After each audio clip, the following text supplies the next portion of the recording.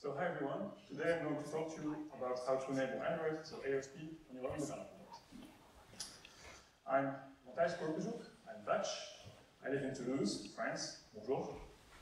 I'm an embedded Android Linux engineer at BayLibre, who is, if you don't know, a small consulting company who does, who has around 60 engineers in the world. We contribute to uh, open source projects like Linux, U-Boot, Android, Yocto, Zephyr. I'm also a U-Boot custodian, so I'm, i maintain some, some small subsystems in U-Boot, like U-Boot DFU, USB Gadget, Fastboot, and some Android commands. So today we'll start with a small introduction. Then we'll talk about getting started with Android, we'll cover the build system. Uh, then we'll speak about the Android common kernel and the changes we need to do for our board. After that, we'll look into bootloaders. And finally, we'll be booting Android to home screen. So I hope there will be some time for questions at the end. If there's not, please come see me, talk to me. I'll be there the whole week. Okay, so let's start. So why would we want to port Android in the first place? So first reason that comes to mind is to use your computer as a heater in cold winters. I uh, think it's very appropriate here since it's quite cold in, uh, in, here. I don't know for you, but for me the wind was killing me this morning. Uh, so jokes aside, Android is a very feature-rich operating system. It has a lot of batteries included, like multimedia support, camera, nice screen and animations. It also has a good system update support, which is shared with Chrome OS. So overall, a lot of batteries included. Also, Android is a very well-known developer API. So when you're making apps or um, custom user experience, you could make a product with Android in there. Finally, we could just port Android for learning purposes. So when porting Androids, we're mostly interested by the lower layers on, the, on this diagram. So the hardware abstraction layers, the native genes and libraries, and the Linux kernel. All the rest just comes from with Androids, and usually you don't have to modify it. So let's have a look at the developer board we'll be using to illustrate this presentation. So the board we'll be looking at is the BeaglePlay from beagleboard.org. It's uh, it has a TI SoC in there, AM62X. It has a quad-core A53 Cortex from ARM. It has 2 GB of RAM, 16 GB of flash, HDMI for, HDMI for display out, USB-C for powering and for debugging, and also has a UART debug available. So the plan. We download the sources, we load the kernel from the bootloader, we boot to console, we boot to devices, we boot to boot animation, and finally we boot to home screen. Ready? Let's go. Before, small warning, I will be presenting source code, so if you're allergic, well, maybe you should go or close your eyes. I, I like to do this because for me it's a good way of illustrating the changes we need to do. So, let's start. Getting started with Android. So, the Android source code is available on source.android.com, which is also the official documentation. It has a lot of resources there, so I would recommend going and have a look there. Uh, today we'll be covering Android open source project, also named AOSP. This is a bit different than what's on your phones, because on your phones you usually have proprietary stuff as well. Like for example, GMS, Google Mobile Services. So Android has a lot of branches which are public. The main developer branch is called main.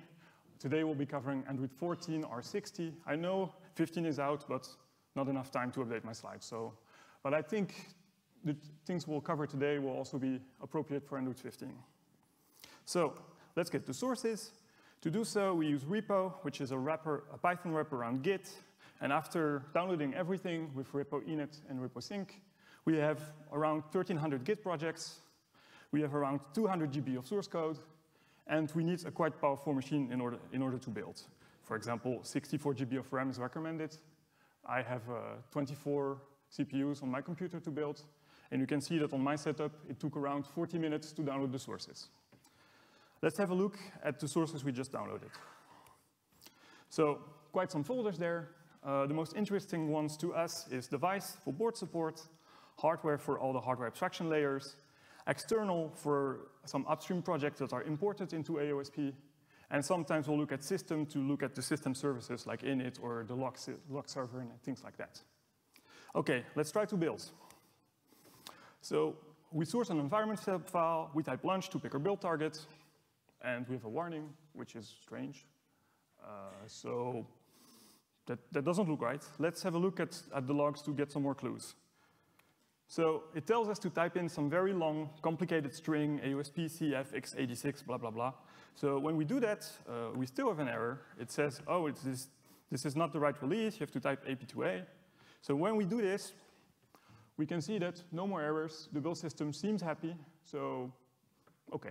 But what is CF? CF stands for Cuttlefish, uh, which is a virtual Android device.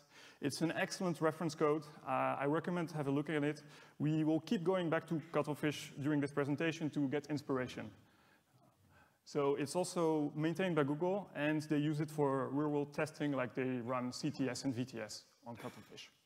So if we look at, if we look up this string, we find that there's an Android products file in device Google Cuttlefish. So let's see if we can do the same for our Beagle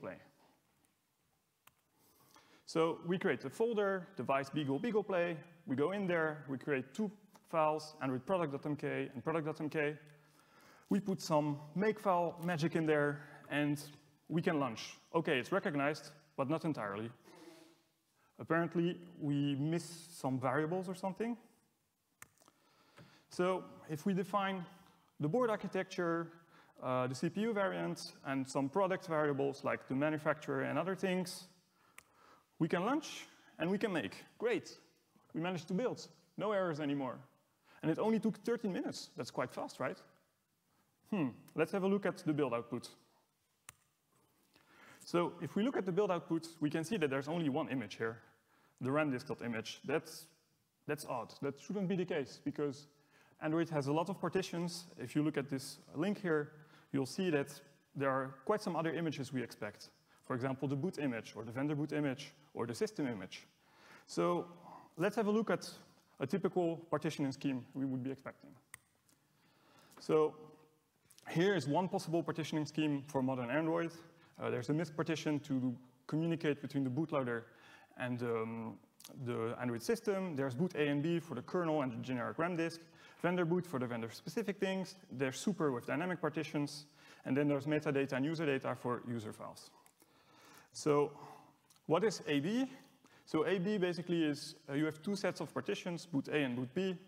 Uh, it allows to have two, two systems uh, running at this or on the, on the same device. When you update from A to B and you cannot boot your B, then you can roll back to A. So it's a safety mechanism. And um, the dynamic partitions basically is user space partitions. So you, on GPT, you have one partition named super, and you can fit a lot, a lot of partitions in there. These are also called logical partitions. So let's have a look how we inform the Android build system about these partitions. So we add some variables in the board config. For example, what's our size of the boot image? Here we take 64 megabytes. Uh, what's the file system for user data? And, uh, well, everything didn't fit on the slide, but at the end of this presentation, there's a link to a Git project where you can have the full source to see what other changes are needed to inform about this. OK, let's rebuild. Ah, other error kernel, what's that? Ah, yeah, maybe we'll need that to talk to our hardware. Uh, so um, let's see how that works. Where can we download this? Isn't it part of Android? OK, let's talk about the Android Common Kernel. So Android Common Kernel is a downstream of the kernel.org kernel. It has some Android-specific patches in there. Uh, for each Android release, there are some version requirements on the Android kernel. For example, for Android 14, we can have 6.1 or 5.15. The Android kernel is also fetched via repo, the same tool we use to fetch the Android source code. However, it's in a different source tree or different folder. Uh, there's a concept we need to look into, which is the generic kernel image, which we'll cover in next slide. And for this time, we'll take the most recent one because I like modern code base, so let's use 6.1.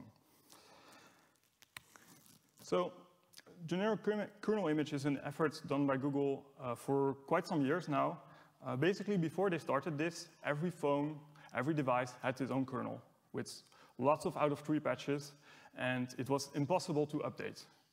So they, to just to, it's a very uh, shortcut, but just the takeaway of this is that they push for now having one single image, one single binary that run on all the phones. Of course, depending on your architecture. So this means that as a vendor or as a device implementer, we must have everything to work as modules. That's just the takeaway. If you're more interested, there are a lot of links in the slides. Usually they point to the official documentation. Uh, it's much more in-depth on there, but I have to go fast because there's quite some things to cover. Um, so let's go back to see how we can add Beagle Play in the Android kernel. Well, the problem is that Beagle Play landed in 6.4, and we have 6.1, so we have to backport, and that's never fun.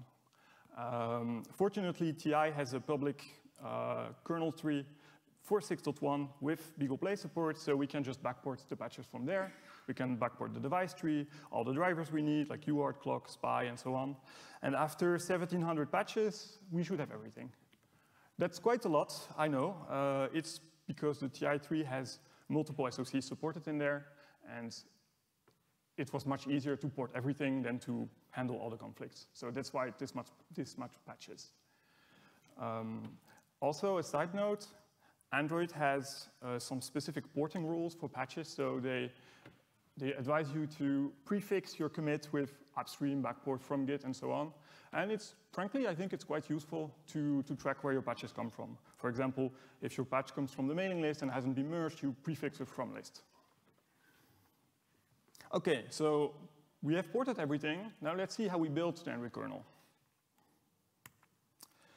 So it's not the standard build system we're used to with Make. Uh, they have something else called Kleaf, uh, which is ba based on Bazel. Uh, so it's quite well documented, but it's something new to learn again. Um, so we, the first thing we want to do is to enable our architecture. So the, um, for AM62, the architecture is named K3, so we have to enable that. And we have to put all these kernel configurations into a defconfig fragment. So to go a bit in more details, these are the changes. I hope you can see it. It's maybe a bit small. Is, these are the changes that are needed to uh, build our Beagle Play kernel. So on the top here, we have the list of modules we would need. Right now, there's only one because there are plenty and it wouldn't fit on the slides. I put the UART driver because I like logs. Uh, and then some other important things are the outputs. Here we want the image and we want the device tree binary. And also there's the build config, which is the defconfig fragment we're using. So again, I want to insist on this. Make sure that your drivers works as modules, otherwise it will just break miserably. So, so now that we've built, let's have a look at how we can put this back into the Android build system. So we create a new folder uh, named device beagle, beagle kernel. In there we put a subfolder, 6.1, and we just copy all our binaries there. So the, the, the kernel image, uh, and the modules. Then we have to um, add some other logic in the board config to say, hey, here's my kernel image, and these are the, the modules I need to have in my RAM disk, so very early on when booting. Let's see how we inform the Android build system about uh, DTB inclusion now. So there's some logic for there handed by the build system. You just give a folder, and the build system will collect all the device tree binaries and append them at the end of the vendor boot partition, even if it says include in boot image here. Okay, so now let's go back and build our boot image and our vendor boot image. Well, that seems to work. That's great. The file command seems to recognize the boot image as being an Android boot image. However, there's some strange warning about treble and unsafe. And I don't know about you, but I don't like unsafe very, very much. So let's have a look what the treble thing means. So treble is a quite older initiative right now. I think it's from Android 8.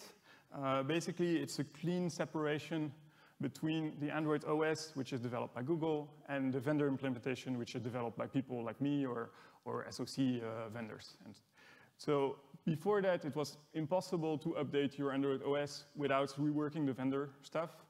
And with this clean separation, it's now possible to update your Android OS without having to change vendor-specific vendor code.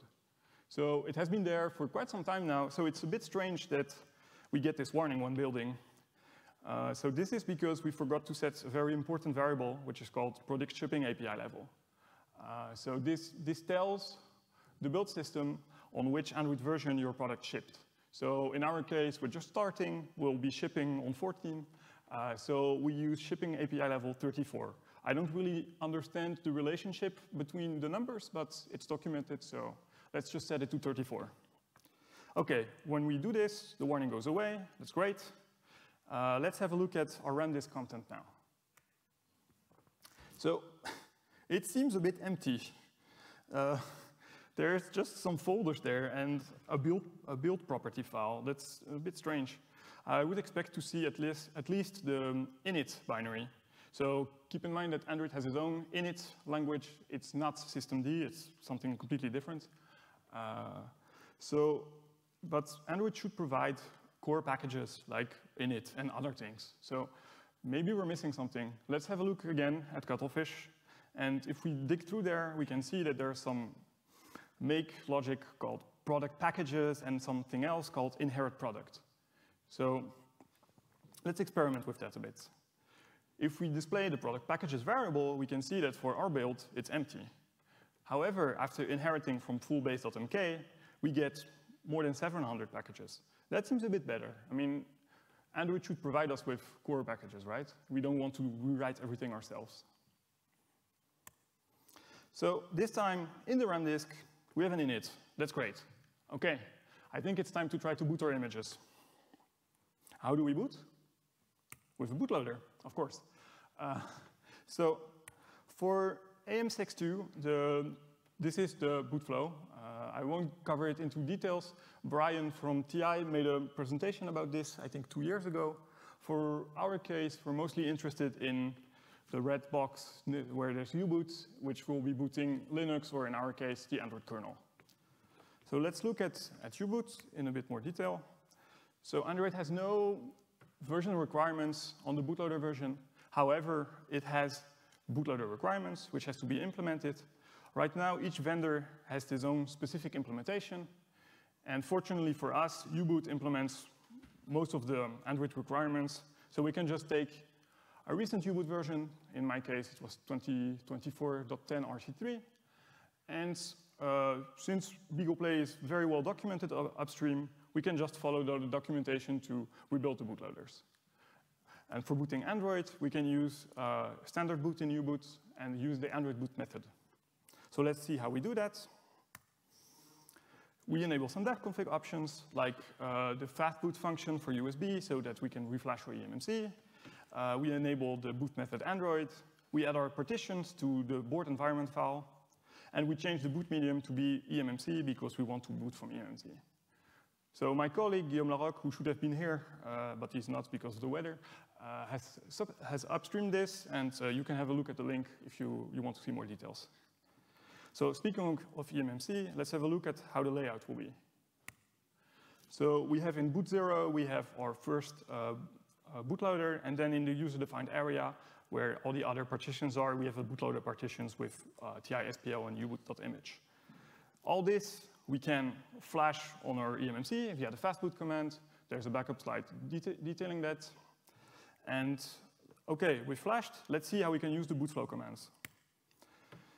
So with bootflow scan, we can scan for uh, boot mediums for boot flows. We see that here we have the Android bootflow. It's considered ready, so that looks good. Uh, it also detects that it's on the eMMC. So let's select it and boot it. Well, it doesn't work, unfortunately. Another problem. Uh, so what's going on here? Uh,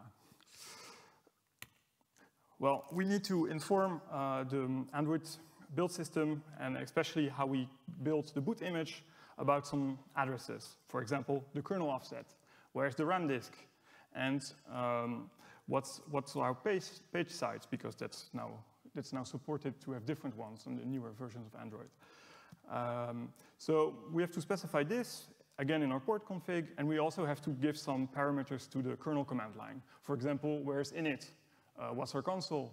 Um, and also, an important one here is uh, print k def k, message. So by default, um, kernel logs are rate limited, but init is very verbose. And I like to see all my logs when stuff is going wrong, so I use this almost everywhere for bring up. So let's see how it goes uh, when we, uh, when we add this. Yay, we can boot. Okay, only 45 slides just to arrive to this. But uh, if we look a bit closer, we can see that after five seconds, it reboots. So, but at least, we, you know, we have our bootloaders that can boot our kernel, and it starts, and everything seems fine. It's even recognized the board model and everything, so great. Let's see how we go from here.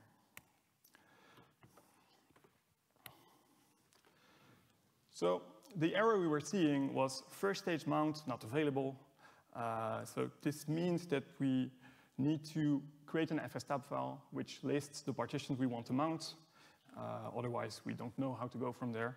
So um, in order to do so, let's create a file which, where we list the virtual, the logical partitions and the physical partitions, and uh, let's add it to our RAM disk. We also have to set the Android boot.hardware uh, variable in order for init to find the fstab file. So if you don't, init doesn't know that it needs to use the beagle play as a suffix. So, so let's, let's try to build the other images, because for now we've only built boot image and vendor boot image, which are like the early ones. But we also want the super image we talked about previously, right? So when we do that, yet another error. Yay, okay. Uh, what does it mean this time? What is device manifest? So basically, device manifest is a list of all the hardware abstraction layers you have implemented as a, as a device. Uh, so it's, it's for the build system to know what features are exposed and for the system as well. Uh, but we don't have anything about that right now. We don't want to do that for now. We just want to continue to build. So let's add an empty one. And after an empty one and reflashing, success. We managed to mount uh, the system uh, partition. So in, in this case, first stage mount is done. So that's great. Uh, let's have a look at second stage mounts, which would mean mounting user data. And in order to do so, we'll stop looking at the console, because for now, there's another log buffer that's much more relevant for us, which is called logcat. So in our console, we can just look at it uh, by typing logcat here. I disabled the kernel messages with dmessage n1 just to not have everything mixed together. So if we look at logcat, we see this. Keystore 2, what is that? Uh, so Keystore is the service that's responsible for encryption and authentication on Android. It's uh, mandatory. Uh, I mean, imagine your phone, your user data is not encrypted on there. Imagine, I don't know, your messages or other things. You want it to be encrypted. So um, encryption is mandatory. So in order to support it as a vendor, or a hardware implementer like, like ourselves, we have to write some hardware abstraction layers, KeyMint, or key master, and gatekeeper. So I don't have any crypto knowledge, and I don't want to do that. So fortunately, Android has uh, an insecure legacy software implementation we can use. So let's see how we add that to our vendor image. So we have to add some product packages, which are, which is, are the two HALs here. Uh, we have to tell in our device manifest, hey, this is the interface we're implementing.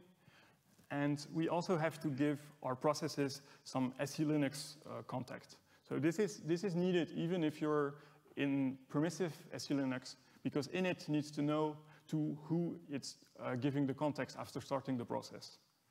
So we've added keymaster and gatekeeper. Let's, let's have a look at what is needed to finish to decrypt user data. So we also need to support um, file metadata encryption. This is mandatory from Android 11 onwards. Uh, fortunately, this is well documented on the Android website. So we have to create an init.rc file, which will be read by init, which basically triggers some actions based on, on some events. For example, event named early fs starts the daemon named Voldy. Uh, so with this, second stage mount is done, which is great. And uh, we can see in the logs that user data has been mounted. So that's pretty good already. Uh, let's see now how we can enable another very useful tool for debugging Android, which is named ADB. So ADB, and Android Debug Bridge, it's used for USB debugging. Uh, it allows you to view logcat. It allows you to pull some files from the system, to push some files on there. It's very useful. Um, the easiest way to enable ADB is to use configfs, uh, which is uh, the, the, standard kernel way to configure your USB gadgets. Uh, this is deprecated now on Android, but it still works. So Cuttlefish doesn't use configfs. However, the Dragonboard, which is another nice reference device, uh, still has this. So we can just take inspiration from them. So we copy their file, we rename it to be BeaglePlay. We change the USB vendor ID so that it matches Texas Instruments and not Qualcomm. And with that, we have ADB devices that works. Now, let's have a look at graphics, uh, because of course we need to you know, do some rendering, otherwise we'll, never see anything on the screen. Uh, so usually it's your uh, graphic chip vendor that provides you with a solution for this. However, I don't have access to that, so I'll be using what's public, and what's public, there's a rendering engine on CPU, which is called Swift Shader, uh, which is used by both Cuttlefish and Dragonboard. So it will be very slow, but it will run. And for now, we just want to boot something. So it's very easy to enable this because uh, the guys from Linaro made a device file we can just inherit from. So just with this line, we have everything we need for Swift Shader. Now let's look at display. Display is another topic. Uh, there is mainly the graphics allocator, mapper, and composer that we need to implement, so other house. Uh, so in, in AOSP, there's a component called mini-GBM, which implements allocator and mapper. Fortunately, it's not compatible with the TI display subsystem, which is what is used on the BeaglePlay. Uh, so again, I want to just go as far as I can. So I'll use a virtual graphics card, uh, which is a kernel module called VKMS. So with that, we have another graphic card, card, card one, and we can allocate buffers. And then for the composer part, there's an upstream project named uh, Hardware Composer, uh, which is generic and works really well. So now that we have graphics and display, what's missing? Well, apparently we need audio as well, otherwise we can boot. So uh, uh, fortunately, there's another reference device called Yukawa, which is the Vim3 from, uh, from Khadas. Uh, so they have an audio HAL, so we can just use that one. And for power and health, there are examples provided by OSP. So we, we just add those to our product packages. We add, of course, the interfaces in the device manifest XML we talked about earlier. We add some SLN context, and hopefully we're almost done. Let's just disable uh, suspend and resume first, uh, because with all this stuff going on this, on the CPU, it might be a bit unstable if we try to suspend. So let's just talk to the power manager over ADB and say, hey, you know what, we just want to stay on for now. And with that, yay, the home screen, finally. Okay, that only took 58 slides to get here, right? Uh, so this is done with a tool called Screen Copy, which basically gets the screen over USB. So it's horribly slow. We have, um, I don't know, maybe half an image uh, per second or so. It's, it's very, very slow, but you know, we, we got there, so great. Uh, so to sum up, we needed to boot Android, we needed to write an FSTab file, to implement Keymaster and Gatekeeper, to support encryption via user data and metadata, uh, to enable ADB for better debugging over USB, to have graphics uh, enabled via Swift Shader, to support the display via mini GBM and DRM hardware composer. And also we needed to add audio, power, and health. With that, we have something that boots. Barely, but it boots. Uh, so what's next? As I was saying, this thing is very, very slow. It's, it's not for you know, production. Uh, there would be plenty of other things to do, uh, like, for example, uh, enabling SE Linux as enforcing, which is quite some time consuming, or enabling graphics on the GPU using Mesa, for example, or you know, vendor libs. Uh, enabling, properly enabling display support, or enabling keymaster and gatekeeper via a secure element like OP-TEE or via Trusty, for example, enabling connectivity, enabling re recovery OS, enabling camera. There are a lot of things to do uh, on Android. This is just barely scratching the surface of what's needed to use your board. So as I was saying, the links are, the link is available here. Uh, if you want to have a look, it should be a bit documented, but this is of course just example code. If you want something that works a bit better, uh, you can use the, the TI SDK, which you know has graphic acceleration and everything, so it's much faster than this. Well, with that, that's it. Thank you.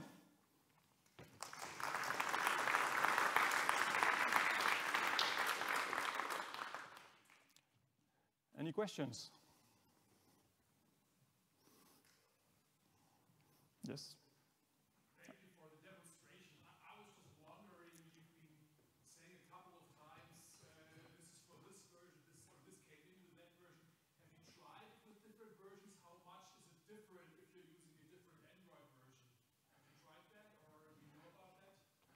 Uh, I'm not sure I understand the question. Like, uh, if I use an earlier version of Android, for example? If you're using Android 15, do you have to use different steps? If you're using Android 12, uh, do you use different steps? Uh, so I think audio has been a requirement for at least a couple of versions. I don't know for 15. Uh, Keymaster and, and Gatekeeper are definitely needed for 15 as well. Um, the, the earlier you go, uh, the less uh, separation there is between uh, system and vendor code, so it's a bit more mixed. Um, I don't know if that answers your question, but. Yeah. And you can, of course, come and see me after the talk as well if you want to talk uh, later on.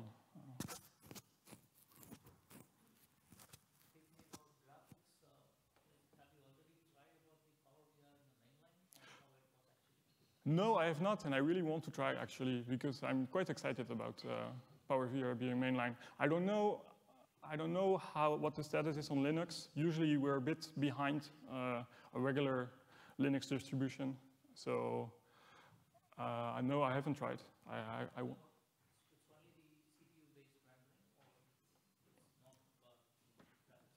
Sorry? Yes, yes. So Imagination provides uh, code, which I will not talk about because I'm not allowed to or I don't like it. But, uh, they, so they provide code that enables the GPU and it, it works.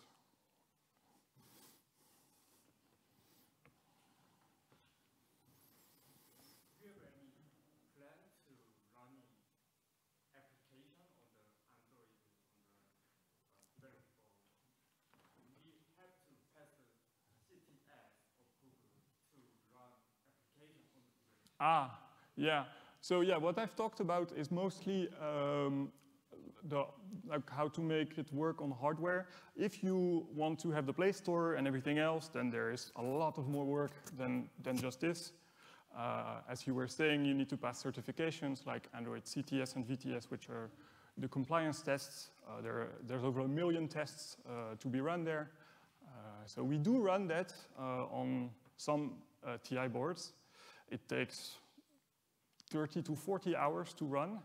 And we just run the, the public uh, tests because I think there's also some more which are only for like certification for partners or stuff. And I don't have any access to that, so I, I can't talk about that very much.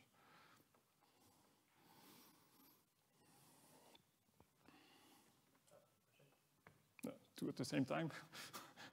Go ahead, Chris.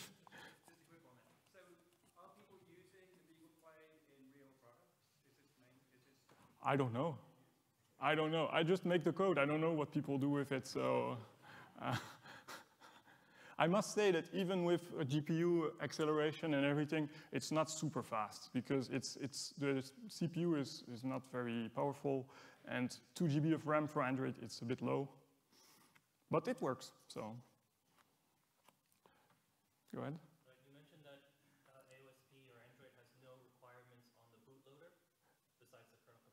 It has, it has requirements on the bootloader, it just doesn't have any version requirements on the bootloader you use. I see, so you weren't able to, you had to replace the original bootloader, like you, you had to replace it with something else that was compatible? Uh, yes, well, I, I had a, a board with nothing on there, And uh, if you take, if you, or if you take what Beagle provides you, they give you a Linux distribution, and that bootloader doesn't have support for booting Androids because it's not, uh, it's not a fit image or something standard you would know. It's something called the Android boot image, which is different file format. So you must have support in your bootloader for parsing that, know where the RAM disk is, uh, how to get the DTB, and other things like that. Yes? Yeah, thank you for a great talk. Um, I have a question. Um, let's assume I build Android for a board. Mhm. How is the workflow when I want to keep track with Android security updates? Do, do I just have to run git build after a few weeks and then repeat everything, or is there some, some shortcut or some, some other well-defined workflow how to So, make sure it, it's secure, but I don't want to have new features? Yeah, so it depends how you, it depends what, what your baseline is. Uh, so what, what I usually do is I stick to um, a main Android re release, in this example, Android 14. Uh, each month or two months, there is a minor update on 14. So this time we were covering R60, and it will, there will be R62, R63 at some point. So what I do is uh, I just update my manifest uh, to point to these new projects, and usually it, just gives you like security fixes and stuff. Yeah, but I'm concerned about the stuff. So I just want to have security fixes and not um, new features. So Yeah. that I don't break existing stuff. Uh, I don't really know. Uh, we, I mean, in my experience, updating just the minor uh, releases, like from R60 to R62 or something, it did, we didn't have that much breakage. We did have last, so when they migrated to the trunk stable development, we did have some, some regressions at that point, uh, but usually it doesn't happen that much. Uh, yeah, sorry, I don't know that much about it. I will do the research. Uh. Yes? Coming from the kernel community, uh, uh, from the kernel development point of view, so how easy or how- what would be required to get the, uh, something closer to the upstream kernel, not to the Android kernel to run on the particular Android device? So yeah, I know that it's probably a question that requires 10 or 20 or 40 more, more slides, but just a quick answer or quick estimate or Like, how, what, what would be needed to use a regular mainline and not the Android mainline kernel? I have no idea. I'm sorry. I, I think there, there may be less than 500 patches now. I don't, I don't know, uh, actually.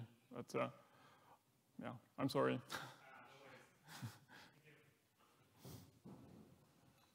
But so to, to continue on that, uh, so Android has a branch which they call Android Mainline, which tracks mainline, and it's uh, each time there's a new RC, it's merged back into the mainline, so it's it's quite close to mainline. Of course, there's out of tree, but it's not as terrible as it used to be like five or ten years ago. It's much better now. Sorry? then we can merge next on top of that, for example. Sorry? And then we can, for example, merge next on top of that and Yeah. be closer to it. Okay, yes, thank you, that works.